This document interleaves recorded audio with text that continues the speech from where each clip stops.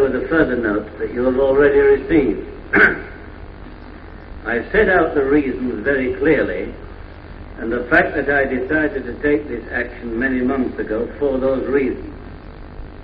As to the precise timing, I would draw your attention to my references to this unique moment between the acceptance of the counter-inflation policy announced in July last year and the timetable for discussions directed to agreement on a new policy this summer.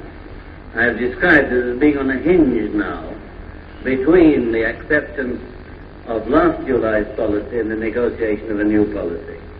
And had I delayed further, for example, gone in the spring, that timetable could have been prejudiced by people's minds being diverted and also by the fact that this would have happened at a time when the union conferences and so on were happening.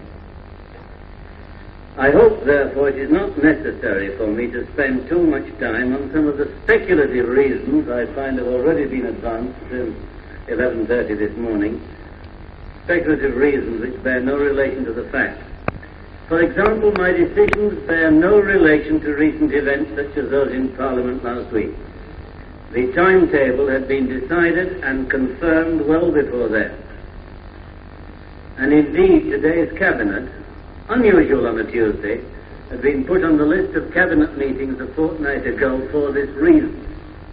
Furthermore, although this is not me, I heard on the radio from the court correspondent uh, that uh, today's, what I knew, confirmation that today's audience had been arranged some time ago. But I do want to say, I'm, oh, I'm touched by some expressions I've heard and read about my state of health. I am as fit now as I was 20 years ago, but carrying rather less weight. And my regular medical checks by my doctor confirm the fact, I understand, he's gone on the record today that I'm as fit as a flea. Nevertheless, I know how solicitous my friends can be, especially my friends in the press, about my state of health. And I'm deeply touched and moved. Two and a half years ago, I had a little knee trouble, which was diagnosed as fluid on the knee. This gave rise to a slight limp uh, which was perceived. On the Saturday, the Lord President of the Council was telephoned by the representative of an eminent Sunday newspaper asking him to confirm that I had had a stroke. As it happened, the Lord President knew the exact gravity of my state of health and said slightly inaccurately, though it was on the right line, that I had housemaid's knee. You all remember the first chapter of Three Men in the Boat. But the anxieties and solicitude on the parts of my friends in the press persisted.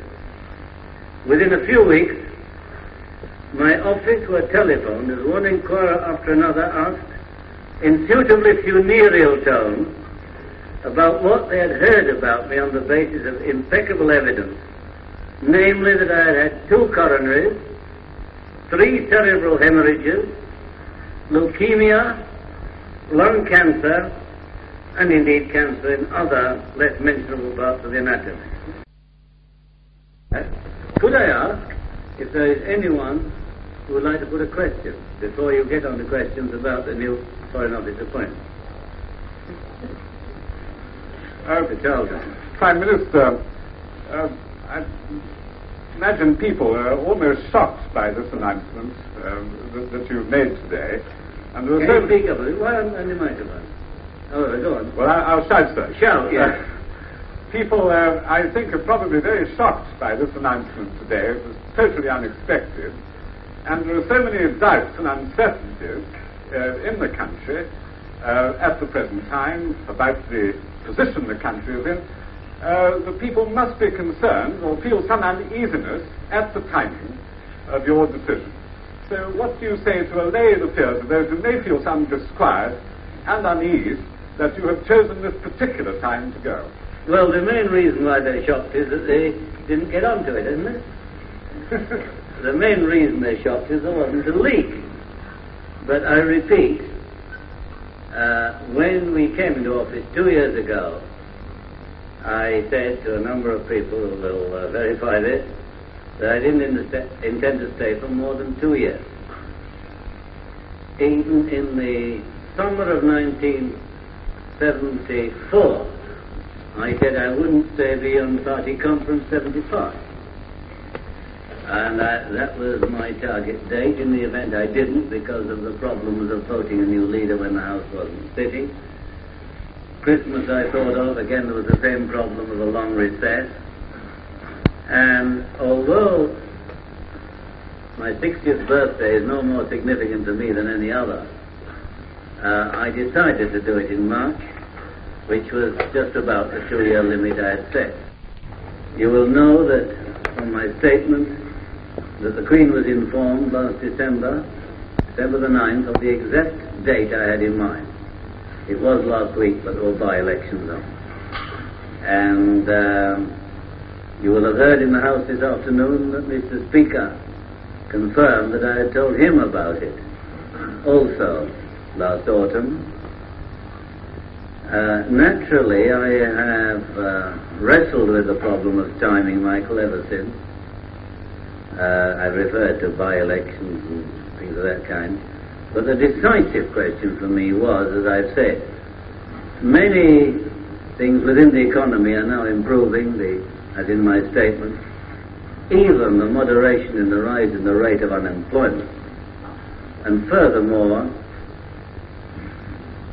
the anti counter-inflation policy is fully accepted by the country, and I do not want to interfere by uh, a leadership election with the vitally important negotiations which will start on the budget and will be continuous right through to the summer.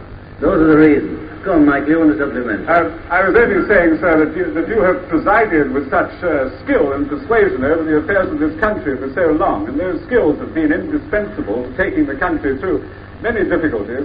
Do you say that your departure at this time will not prove any obstacle to an improvement in the country's position? And do you see it in some way as perhaps helping that process? It could well do so. I think it'd be good to get a fresh look at these problems by a new leader. The one thing I've always rejected in um, politics is the doctrine of indispensability of a particular leader. I have never thought I was indispensable. This is a view that's been shared by some of my colleagues over the years, though they're more united now. It's a view that has been almost unitedly shared by the press over many years. But they have been very kind now. And I've taken the same view about leaders of the Conservative Party over the years.